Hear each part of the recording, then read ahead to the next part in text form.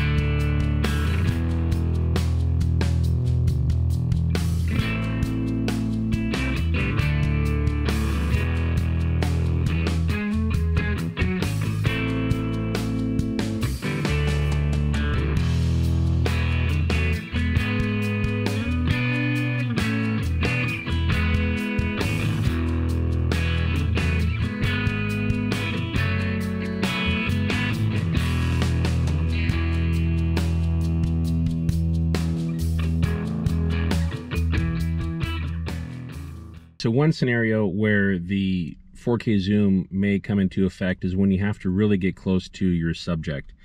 And say, for instance, if I'm if I'm out, you know, recording some people surfing or body surfing, whatever, or in the scenario that we're looking at right now, um, so I want to get a really close-up shot of all of these bushes and stuff that are in between the roads here. So I can only get the drone so low. So what we're going to do is I'm going to show you really quickly the 4K wide and then the 4K zoom and then we'll compare the you know the quality of both of those as well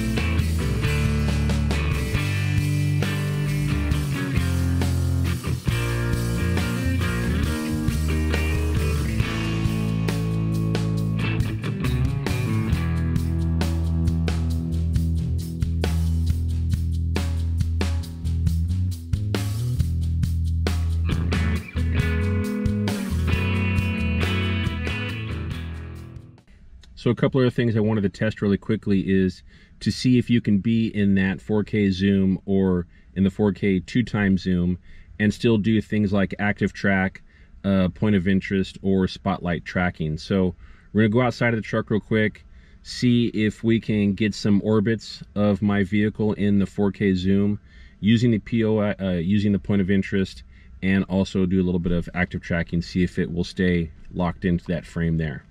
So very quickly, I'm just gonna step out of my truck. I'm gonna walk around the parking lot here. Uh, we're gonna set up the drone to active track. It's gonna follow me around just as I'm walking around the parking lot, but we're gonna make sure that it's gonna work in the 4K zoom and the 4K two time zoom. All right, so thanks again for watching today's video. I really appreciate it. Hopefully some of the stuff that you found in here is a little interesting, will help you get out and use your Mavic 2 in other ways. Just wanna let you know, I'm no professional. These are just my results that I can share with you guys. So if you're thinking about buying this drone or if you're having any problems using it, doing some of these tracking modes and such like that, hopefully these videos will help you. If you do have any questions at all, please leave them in the comment section below. I usually answer questions within a one or, one or two days. So I, I'm here to help you guys. Leave those comments down below. Do all that fun stuff for me, please. Smash that like button, share, comment, subscribe to the channel. Once you subscribe to the channel, please hit that bell notification so you do get notified whenever I have any new videos coming out. And the last thing you do is click on one of these boxes in the corners. One's gonna take you to a rides playlist, another to a favorite video, and you can click the logo in the other corner, the Urban Outdoorsman SoCal logo to subscribe. Thanks a lot.